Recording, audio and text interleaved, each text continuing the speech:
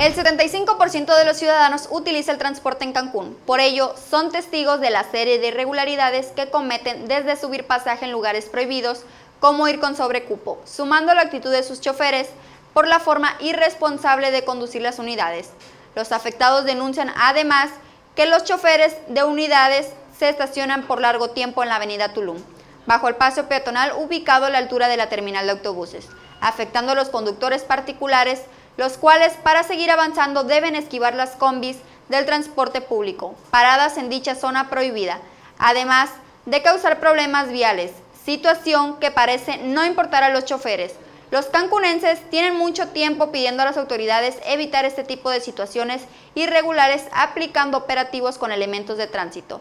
para infraccionar a los choferes, las cuales pueden en algún momento provocar un accidente o discusiones entre personas molestas pero hasta el momento han sido ignorados.